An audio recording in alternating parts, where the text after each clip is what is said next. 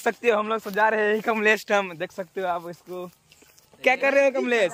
खा रहे क्या खा रहे हो? स्टोरी में देखी ना आई अच्छी लगे अच्छे से। हम लोग का नाम है देखिए यह है छिमी एकदम स्वादिष्ट देसी ब्लॉग में।